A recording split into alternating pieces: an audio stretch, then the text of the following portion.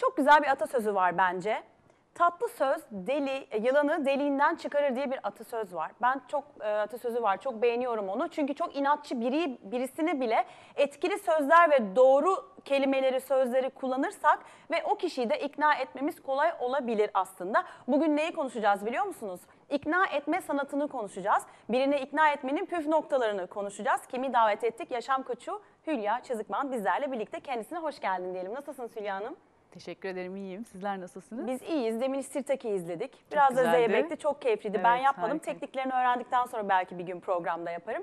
Şimdi kişisel gelişim kitaplarına baktığımız zaman en çok satanlarda mesela bir tane kitap var. İs- e, her istediğinizi yok istediğinizi herkese yaptırabilirsiniz veya 8 dakikada evet dedirtmenin yolları, Yolları. gibi bir sürü kitap var. E, ne tür teknikler ve stratejiler öğretiliyor bu kitaplarda? Gerçekten işe yarıyor mu? Ee, gerçekten işe yarıyor mu? Evet. Tekniğini A'dan Z'ye uygularsanız doğru. İkna etmek bir iletişim süreci aslında. İletişimi en üst e, düzeyde nasıl kullanacağımızı bilirsek ikna etme, et- etmeyeceğimiz hiç kimse olamaz. Buna çocuklarımız da dahil. Ee, önce kim ikna olmalı diye sorarsanız önce biz kendimiz ikna olmalıyız. Kendimiz ikna olduğumuz konularda karşımızdakini ikna etmemiz çok kolay. Bu neden e, iletişimin e, üç noktadan, üç koldan iletişim sağlıyoruz biz. Bir tanesi beden, e, diğeri kelimeler, diğeri de ses tonu. Ama e, beden dili iletişimde yüzde 55 daha etkili. Bu ne demek? Ne söylediğin değil, nasıl söylediğin daha etkili oluyor karşı tarafta. Tabii sözleri de herhalde beden dilinde senkronize bir şekilde kullandığı zaman daha etkili oluyor. Kesinlikle Doğru mu? Bu öyle. ne demek oluyor aslında? %55 beden dili, %38 sesinin tonu, %7 sadece kullandığım kelimeler aslında. Yani kelimeler dışında %93 beden dili ve ses tonu karşı tarafı ikna etmede daha etkili. Bu e, gerçekten e, Mahrebya'nın araştırması sonucu ortaya çıkmış bir gerçek. E, şöyle düşünün, e, tamamıyla sizin inandığınız ve e, tamamıyla doğruluğundan e, şüphe duymadığınız bir olayı düşünün. Ve bundan bahsederken göz bebekleriniz büyür. Ve bundan bahsederken yüzünüzdeki o gülümseme daha farklı olur. Ya da karşı tarafa aksettirdiğiniz enerji e, endişe duyduğunuz e, konudan daha farklı olacaktır. Mesela Bunu denediğinizde görürsünüz. örnekler vermek gerekirse mesela mutlaka eşinizi, sevgilinizi, kocanızı, karınızı, arkadaşlarınızı, iş arkadaşlarınızı, annenizi, babanızı bir şekilde bir konuyda ikna etmeye çalışıyorsunuzdur. Ama gerçekten de böyle püf noktaları var. Onları gerçekten uygulamak gerekiyor. Beden diliyle de çok önemli. E, tabii bu teknikleri belki bu programda hemen öğrenemeyeceğiz belki yarım saatte. Ama neler bize önerebilirsiniz? Mesela e, nasıl söyleyeyim? Hangi örneği verelim diyorsunuz? Mesela e, sevgiliniz mi dediniz? Mesela En sevgilin çok ol- belki ilgilenen konulardan bir tanesidir Evet. Bu. Hani sevgilinizin sizi sevip sevmediğinden emin değilsiniz ve emin olmak istiyorsunuz. Ee, bunun için aslında e, siz eğer sevdiğinizden çok eminseniz karşı tarafı ikna etmeniz çok daha kolay olacak. Ee, dediğim gibi duygular bulaşıcı. Ve e, eğer e, sizinle gerçekten ilgileniyorsa, sizin ilgilendiğiniz, e, onunla konuşurken gözlerine baktığınızda göz bebeklerinin biraz büyüdüğünü gördüğünüzde doğru yoldasınız demektir. Aa, süper. Güzel bir ipucu bu. Evet. E, ve tabii e, yüzde bakmanız gereken e, noktalar da var. Neresi? Mesela e, çok e, toplantıdaysanız, orada e, tamamıyla iş konuşuluyorsa, karşınızdakinin bakacağınız bölgesi sadece kaş ve göz bölgesidir. O üçgendir. Eğer biraz daha samimi ve arkadaşsanız, e, şu ağız üzerinden göz çevresini kapsayan daha büyük bir üçgene bakabilirsiniz. E, ya da diğer istekler söz konusuysa e, ikili ilişkilerde bu bakış açısı da şu dudak bölgesinden aşağıya doğru e, süzülen bir üçgen, büyük bir üçgen. Bu zaten baktığınız zaman diğer isteği de ortaya koyar. Bu tür e, ipuçları o kitaplarda yazıyor mu? Tüm bunları veriyorlar mı aslında? Mutlaka ben o elime- yazıyordur. Siz bir kitap yazın bence bununla ilgili. Var mı kitabınız? Ee, kitabım var ama bununla ilgili İkna değil. etmeye sanatıyla Ee, değil. Bununla ilgili Bence değil. Sonraki yazmalısınız. kitapta. Güzel anlatıyorsunuz. Evet. E, yine kitapçıya gittiğimde işte 8 dakikada e, evet dedirtmenin yolları kitabında şöyle bir açmıştım. Direkt karşıma şöyle bir şey çıktı. E, kendi fikrini kabul ettireceksin ama onun fikriymiş gibi kabul ettirmek en önemlisi aslında bu buna çok dikkat etmen gerekiyor. Ya aslında burada da hani etik de düşündüğün zaman e, bir nevi de ben şöyle düşünüyorum. Sözlerle birini hipnoz ediyorsun aslında. E, Şöyle açıklamak gerekirse, e, eğer o kişi sizinle de karşılıklı konuşuyorsa bilin ki o konuyla ilgisi vardır. En azından konuyla ilgili bir takım ipuçları ya da e, merak ettiklerini öğrenmek için sizinle konuşuyordur. E, Buna biz aslında e, görünen ihtiyacın arkasındaki ihtiyacı öğrenme tekniği diyoruz. Bir takım soru sorma tekniğiyle karşınızdakinin aslında neye ihtiyacı olduğunu anlama gibi bir olanağınız söz konusu. Çünkü her şey duygulardan ibaret. İletişim de duygusal, ikna etmek de duygusal. Yüzde yüz duygusal. İkna edeceğiniz konu eğer her neyse bir satış yapıyorsanız bu, bu bir kalem bile olabilir. Kaleme sahip olduğunda karşıdaki kişinin neler hissedeceğini bulabilirseniz o soru sorduğunuz tekniklerinizle e, onu ikna etmeniz çok kolay olacak. Şimdi bir soru geldi. Onu hemen soruyorum size. Bir e, birini evlenmeye nasıl ikna edebilirim? Herhalde erkeği diye soruyor diye düşünüyorum bunu biraz. Bayan mı bunu soran? Evet, Erkeği evlenmeye nasıl ikna edelim? evet. Var mı öyle bir teknik diye soruyor. Ee, var mı böyle bir teknik? Ee, tabii ki. Eğer e, mutlaka ki erkeğin de evlenmeye ihtiyacı vardır. Bayan da e, birbirlerinden hoşlanıyor iseler, e, bir takım etkileşim de söz konusu ise e, erkek de bundan kaçıyorsa belli ki korkuları var demektir. E, o korkuların öncelikle ne olduğunu bulmak gerekir. Ve e, o korkuları e, aşıldığında sahip olacağı o pozitif duygulara ulaştığınızda o erkek de ikna olacaktır evlenmeye. Hmm, Ama özel böyle bir ipucu falan veremiyorsunuz. Böyle altın öğüt yok herhalde bununla ilgili. Çünkü erkekten erkeğe herhalde değişiyordur bu. Tabii herkese göre değişir. İletişimin iki kere iki dört eder gibi bir e, kuralı yok. Herkesin ayrı kendine göre iletişim tekniği var. Ki e, iletişimin çok zor aslında e, olmasının sebeplerinden bir tanesi de bu. E, çünkü herkesin ihtiyacı olduğu kendi istediği şekilde iletişim kurulması.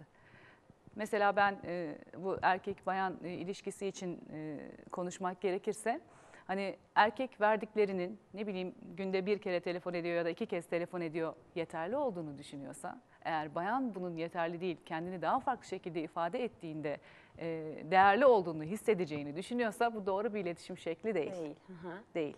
Ee, Eğer karşılıklı bir etkileşim söz konusuysa burada öncelikle öğrenilmesi gereken iki tarafında hangi iletişim şeklinden hoşlandığını ya da hangi iletişim şekliyle ona ulaşıldığını öğrenmek. Şimdi e, bazı ilişkiler var bakıyorsunuz. İşte 4 senedir beraberiz diyor. E, ama kadın tabii ki bundan şikayetçi. Hani artık evlenmek istiyor, bir yuva kurmak istiyor. Ama bir şekilde ikna hiçbir şekilde ikna edemiyor erkeği. E, kadın dergilerine baktığınız zaman da böyle kapakta hani böyle bir sürü konuları koyarlar ya. İşte erkeğinizi evlendirmeye e, işte ikna etmenin 10 yolu gibi şeyler var. Bu tip şeyler de takım kurallar ilgisini çekiyor. Sizce oradaki kurallar doğru mudur yani? Şimdi o kurallar herkese göre değişir. Ne dedik biraz önce? İletişimin herkes için ayrı bir formülü var. Her erkeğin, her kadının da kendisiyle iletişim kurma formülü sadece kendinde yatıyor. DNA'larımızda bu. Ee, nasıl ikna edebiliriz? Eğer bir kadın bir erkeği ikna edecekse e, bir soru teknikleri var. O kişinin ihtiyacına bulmaya yönelik soru teknikleri var. Oradaki beden dilini iyi çözebilirseniz doğru yolda olup olmadığınızda zaten göreceksiniz o sorularla aldığınız cevaplar karşılığında. Yani en can alıcı noktalarından bir tanesi de o sorulardan e, evliliğin onun için faydalarının yani herkesin sorduğu soru bu. Bana faydası ne aslında? Ha, evlenirsen bana ne gibi faydası olacak? Mutlaka herkese bir faydası olacak eğer faydadan bahsediyorsak. Ama o kişiye olan faydasını öğrenmek adına o kişiye özgü soruları sormamız Doğru. gerekecek. Evet doğru çünkü erkekler artık son dönemde boşanmalar gittikçe artıyor. Bir istatistik vardı şu an hatırlamıyorum ama Türkiye'de de aynı şekilde son iki yıldır inanılmaz artmış durumda boşanan çiftlerin e, sayısı. Erkek çünkü doğal olarak evlenmekten artık korkuyor. Bu boşananların sayısını görünce de aynen diyor ki yok ben evlenmek istemiyorum diyor. Ama ne oluyor? Kadın evlenmek istiyor. E bunda bütün yöntemlerini arıyor. Nasıl ikna edeceğim, ne yapmam gerekiyor diyor. Hatta şey planı yapanlar var. Acaba bir ayrılsam da bir kendine gelse mesela diyenler var. Çünkü bunlar dergilerde yazıyor gerçekten. Peki ikna etme demişken bir de telefonda ikna etmeye çalışırız bazen insanları ama beden dilimi göremediği için e, bakışlarımı mimiklerimi göremediği için belki de başka taktikler mi uygulamak gerekir? İşte Onun burada ne önemli olan e, ses tonunu iyi ayarlamak. Doğru vurguyu doğru yerde yapmak gerekiyor. İşte burada ses tonu ve sözler biraz daha etkili oluyor telefonla iletişimde. E, yine karşı tarafın e, görünen ihtiyacının arkasındaki ihtiyaca yönelik o soru tekniklerini iyi biliyor olmamız gerekiyor. O sorulara göre aldığımız yanıtları e, doğru kelimelerle doğru yerde. Orada biraz hipnotik dil kullanılabilir. Mesela Ee, yine bu herkese göre değişen e, tekniklerdir. Herkesin ihtiyacına göre değişik hipnotik dil kullanılır ama orada ne vermek istiyorsanız, hangi konuda ikna etmek istiyorsanız oradaki bir takım e, kelimeler var ve o kelimeleri biraz daha az ya da biraz daha fazla ses tonu kullanarak e, sadece dikkati o kelimeler üzerine çekebilme şansınız var. E, hafta sonu geçen cumartesi günü bir arkadaşımın kızının ikinci yaş doğum günüydü. E, orada tabii ki çeşitli insanlarla tanıştım, kadınlar ve erkekler. Biri İngilizce e, öğretmeni kendisi ve bana dedi ki öğrencilere dedi hipnotik bir dil kullanıyorum dedi. Şimdi aklıma geldi ki beni dinlesinler, ses tonumu da ona göre ayarlamasını biliyorum dedi. Ne demek hipnotik dil dedim. Hani hipnoz mu ediyorsun yani çocuklara dedim. Hayır dedi. Bir gün ben de davet edeceğim zaten programa. İnşallah gelir kendisi anlatır. Çocuklar demişken çocuklar çok inatçı olabiliyorlar. Çocukları ikna etmenin yolları da çok zor olmalı. Ee, anne değilim ama yeğenlerimden biliyorum. Mesela soğuk bir havada hayır yazlık kıyafet giymek ister ve çıkarmaz o şortu veya tişörtünü giydiremezsin kaza. Veya sadece makarna yemek ister inatla o makarna yiyecek. Çocukları da ikna etmenin yolları da herhalde farklı. Onlara da çok farklı stratejiler uygulamak gerekiyor bence. Kesinlikle. İşte o hipnotik dil dediğimizi aslında her alanda, iletişimin her alanında kullanabilirsiniz. Hangi e, vereceğiniz komutu ön planda tutmak istiyorsanız, çocuklar dediniz, işte şortla dışarıya çıkarsa hasta olacak. Bunu söylemeye çalışıyorsunuz çocuğa. Şortla dışarıya çıktığında hasta olacaksın dediğim zaman çocuğun algıladığı şort ve hasta olmak ikisi arasındaki bağlantıyı kuracak zaten. Ve sonra e, onunla iletişiminde e, çocukla bir kere göz göze gelmek gerekiyor. Yani yukarıdan baktığınız zaman çocuğa eğer boylarınız aynı seviyede değilse o zaman çocuğun aldığı mesaj o benden büyük ne diyorsa o mesajını alıyor. Eğer aynı seviyeyi alabilirseniz çocuğa 5 yaşındaysa ya siz eğilmek zorundasınız ya da onu bir yere koymak zorundasınız ona şortla dışarıya çıktığında hasta olacağını ve hasta olduğunda neler yaşayacağını ona sizinle seninle aynı seviyedeyim mesajını verdikten sonra o hipnotik dili de kullandıktan sonra kolaylıkla ikna edebilirsiniz. Hmm, ben bunu eğitimini almadım ama aklıma bir şey geldi. Yeğenim e, makarna yemek istiyordu. Hem makarna vardı hem bezelye vardı. Bezelyeyi tabii ki istemiyor doğal olarak sebze olduğu için makarna daha eğlenceli. Ben de şöyle bir şey söylemiştim ama farkında olmadan yaptım. Belki bu da bir tekniktir kitaplara yazsınlar. Şey dedim ikisini de yiyeceksin ama sen seç ilk hangisini yiyeceğini demiştim mesela. Güzel oldu bu. O da tabii ki Kesinlikle. ilk makarnayı seçti. Bir şekilde bezelyeyi de yemişti. Herhalde bu tür teknikleri uygulamak gerekiyor Kesinlikle. diyorsunuz. Ee, hayır kesinlikle makarna yemeyeceksin dediğiniz zaman size bir şey birisi böyle bir şey söylese nasıl bir tepki gösterirsiniz? Kızarım. Kızarsınız yani çocuk da aynı. Ona iki seçenek sunacaksınız. Sizin yaptığınız çok doğru bir teknik olmuş aslında. Makarna mı bezelye mi? Önce hangisini yemek istersin? İkisinin de bedenine vereceği yarar çok farklı. Yani bunu yersen şunları şunları kazanacaksın. Ne diyoruz işte hep ihtiyaç bu. Görünen ihtiyacın arkasındaki ihtiyacı karşılamaya yönelik çalışmalar yapıyoruz. Her iletişimde böyle. E bunu yersen e, daha farklı olacaksın. Belki bunu yersen biraz da orada e, hani ödüllendirme şekli de olabilir. İşte istediğin bir şeye sahip olabilme şansın var gibi. Çocuklarla iletişim biraz daha farklı o konuda. Hı hı. Bir de e, demin açılışta da söylediğim çok sevdiğim bir atasözü tatlı dil, tatlı söz müydü? Tatlı, Tatlı söz dil. yılanı deliğinden çıkarır. Bu gerçekten doğru mu? Bir de hani kadınları mı daha ikna etmek daha kolay aslında yoksa erkekler mi? Öyle bir Valla öyle bir ayrım yapmak ne kadar doğru ya da değil bilmiyorum. Yani tatlı dili kullandığınız herkes bence deliğinden çıkacak. evet. Neyi söylediğin değil nasıl söylediğin çok önemli demiştik biraz önce. O e, kullandığınız kelimeyle beden dilinde uyumlu halde kullanırsanız karşı tarafı daha çok etkilersiniz. Bir de e, tabii ki bir takım teknikleri var. Bugün hava sıcak dediğinizde hangisi daha çok? e, bugün hava sıcak ama yarın yağmurlu olacak dediğim zaman ne hissediyorsunuz? yağmurlu, mutsuz. Mutsuz. Değil mi? Bakın e, yani cümleleri söylediğiniz ve ikisini bağladığınız bağlaç da çok önemli. Şöyle söylesem neler hissedeceksiniz? Yarın yağmurlu olacak. Buna rağmen bugün hava çok güzel. Dediğim zaman neler hissediyorsunuz? İkisi de aynı şeyi ifade ediyor Biri aslında. daha pozitif etki Evet. bırakıyor. Kesinlikle. Ee, birini ikna ederken yapmasını istediğiniz şeyi en son cümle olarak söylerseniz en son akılda kalan da o oluyor. Ha, güzel. Bunu uygulayacağım. Evet. denemek bir de hatta. e, ama bağlacını kullanmamak gerekiyor. Ama.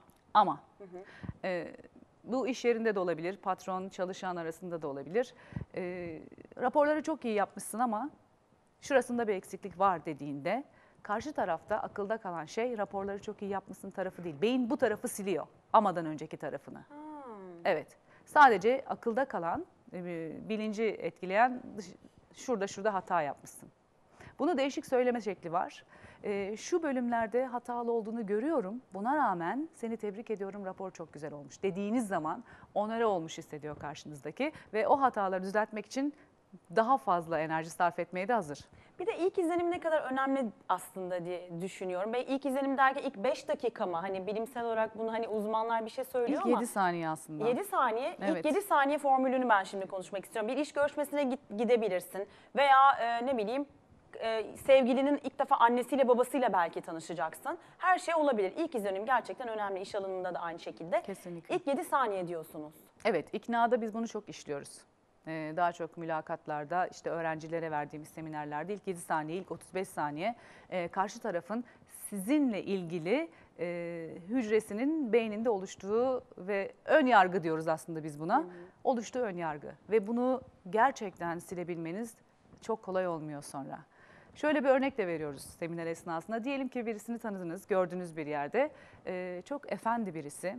Hatta namazında, niyazında e, ve kesinlikle pozitif birisini gördünüz, tanıdığınız bir toplantı esnasında. Aradan ne düşünüyorsunuz bu kişiyle ilgili? Beyninize ne geçiyor? Çok dürüst bir insan. Evet. Tamamıyla kendiyle ilgili, akıllı olduğunu düşünüyorsunuz. O hücreye yazdınız.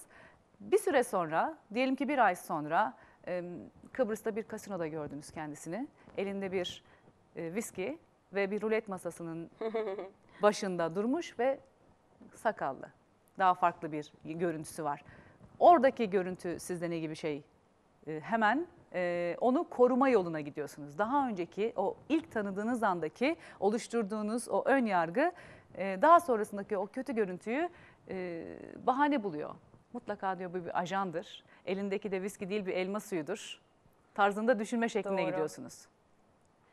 Bir de e, hayır diyememe sorunu olan kişiler var. E, hayır diyemiyoruz bazen. Çünkü niye? Hayır, reddedersem ben de reddederim diye korku oluyor o zaman.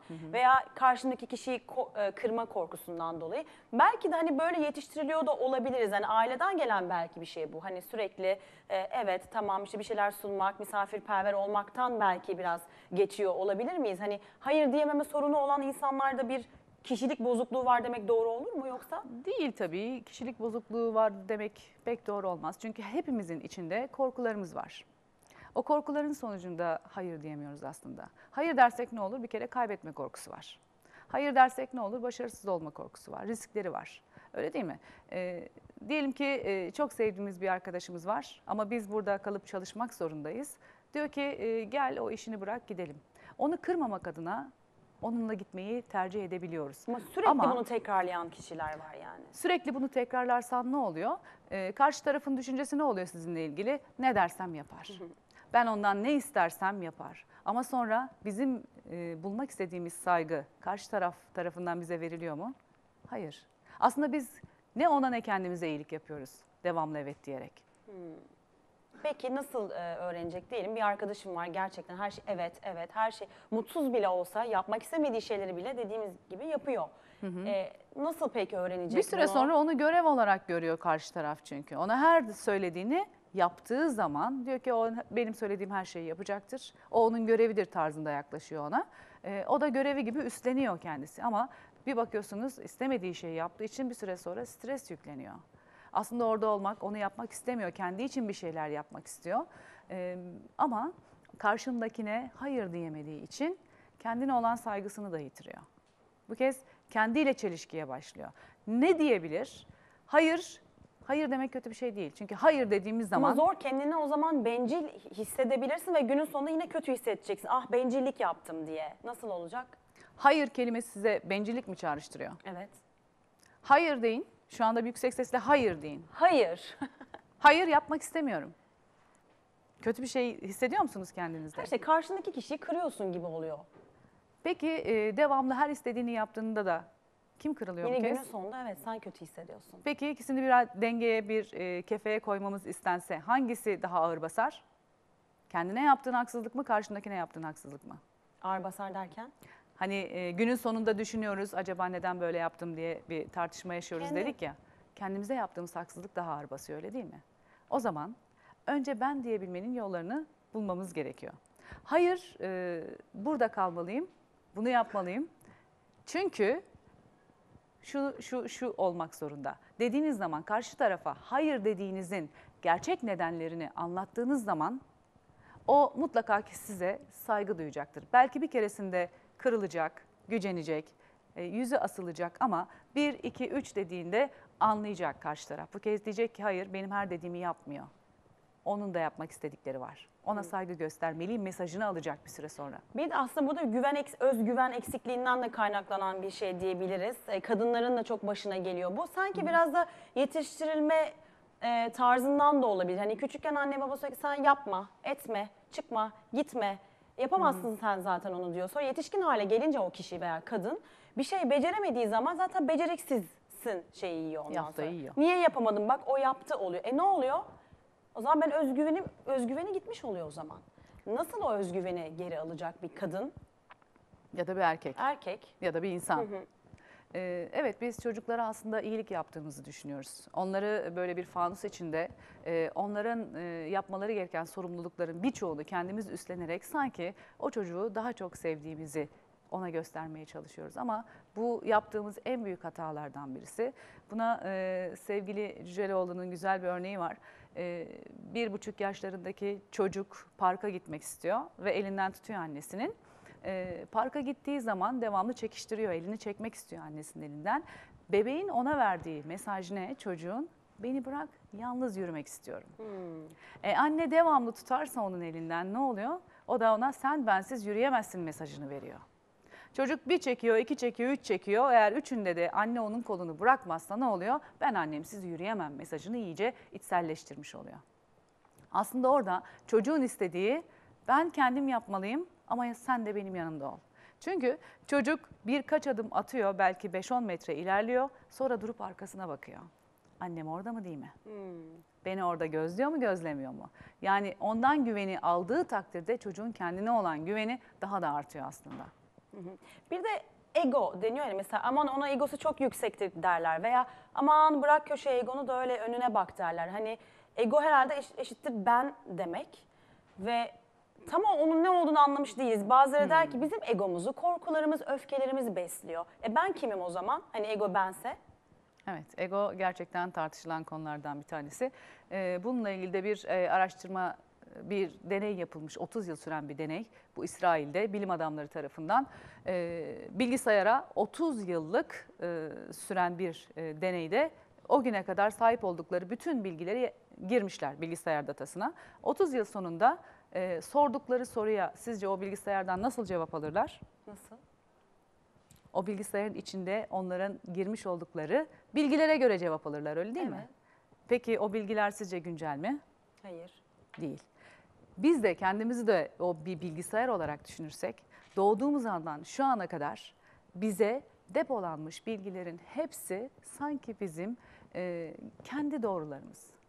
Öyle değil mi? Bizim doğru olarak bildiğimiz her şey bizim şu ana kadar bilinçaltına yerleştirdiğimiz değerlerimiz, inançlarımız. Onun dışında doğruları kabul etmiyoruz. Aslında ego bu. Çocukta ego yok o zaman. Yani çocuk derken bir yaşındaki çocukta ego yok. Çocuk Oluşuyor sadece ben diyor. Onda e, aslında bu psikolojinin çok iyi iç konularından bir tanesi. E, üç ego var. Bir tanesi e, it dediğimiz ilkel benlik. Yakalya git çocuklardaki o. Hani e, hep ister çocuk. Hani e, küçüktür meme emmek ister. E, annesi uygun mudur değil midir, çevre müsait midir değil midir? Onun için önemli değildir o sadece ister. İlkel benlik dediğimiz bu. Ee, daha sonra oluşan Egoda Süper ego dediğim- dediğimizde işte önce annenin içinde bulunduğu, ailenin ona vermiş olduğu bilgi, beceri, değer, inanç her neyse. Daha sonra büyüdüğünde okul, sosyal çevre, arkadaşlar e, süper egodaki e, doğrularını oluşturur, değer ve inançlarını oluşturur. Ego dediğimiz şey de bu e, bir şeye karar vermesi gerekiyorsa kişinin süper ego ile o id arasında gider gelir. Acaba doğru mu? Onu mu yapsam, bunu mu yapsam? Bir şekilde iki seçimden birine karar verir. Ve yaptığında da e, kendi değerlerine göre, kendi egosuna göre, kendi içindeki o bilgi birikimine göre karar verir aslında. Ego dediğimiz şey bu. Ego, egosu yüksek olan e, ne demek o zaman? Mesela Okan Bayülgen ve Cem Yılmaz için egoları çok yüksektir deniyor. Neden öyle? Ne demek? Ne demek? Kendi isteklerini direten, karşı tarafı çok fazla e, umursamayan belki. Hani kendi doğruları, kendi doğruları konusunda ilerlemeye çalışan. Ne dedik e, ego için? E, bugüne kadar biriktirmiş olduğu bilgiler onun için doğrudur. Başka bilgilere açık değildir ya da esneklik çok fazla yoktur. Aslında ego kötü bir şey mi? Değil. Aslında olması gereken bir şey. Ama egonun sizi değil de sizin egoyu kontrol ediyor olmanız gerekir. Evet, bu da hep bir tartışma konusudur zaten. Evet. Ego kötü mü, iyi mi? Ego içimizdeki bir ses mi? E, işte sen bir şey yapmaya karar veriyorsun ama bir, bir tarafın diyor ki hayır onu yapmamalısın, bunu yapmalısın. Ve onu dinliyorsun, gidiyorsun. Ego mu seni kontrol ediyor, sen mi egoyu kontrol ediyorsun? Gerçekten ciddi bir konu bu. Hani sanki ben şey gibi düşünüyorum, e, zihnimizde bir filtreleme sistemi var. Ve bu sistemi aslında hani biz mi kullanıyoruz, kumanda ediyoruz, o mu bizi? İlginç bir konu ediyor. aslında değil mi bu? Kesinlikle doğru doğru yerden girdiniz aslında. Evet hepimizin bir filtreleme sistemi var.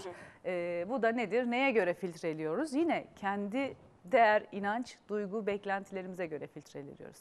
Hiç kimsenin filtresi bir diğerinin filtresini tutmuyor. Hepimiz belki aynı e, etkiyi alıyoruz. Aynı şeyi görüyoruz ama kendi filtrelerimizden geçirdiğimiz için farklı tepkiler veriyoruz. Son olarak e, kadın programı olduğumuz için hep bunu birilerine sormak istedim ama soramadım gelen uzmanlara.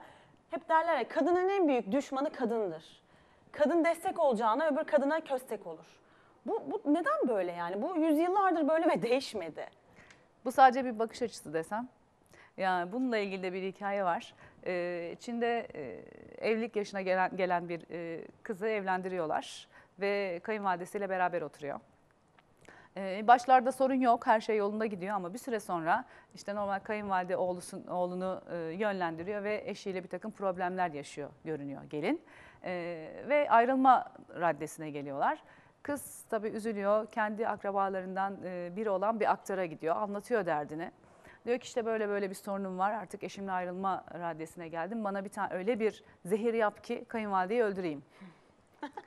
Ee, akrabası olan aktar tamam diyor sana çok güzel bir şey hazırlayacağım ama e, onu diyor 3 ay süreyle kullanacaksın ve damla damla yemeklerini de sen yapacaksın ve her yemeğe damla damla koyacaksın bu verdiğim iksirden diyor. Ama bu 3 ay içerisinde kayınvalidene dünyanın en iyi insanıymış gibi davranacaksın diyor.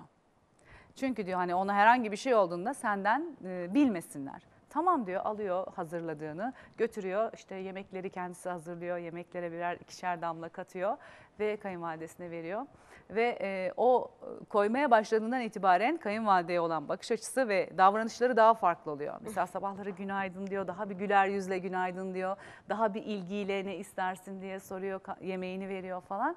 Allah Allah diyor ya kadının bir bakıyor Ölmüyor. kadının kadının e, davranışları da değişiyor yalnız ona karşı bu üç aylık süre içerisinde.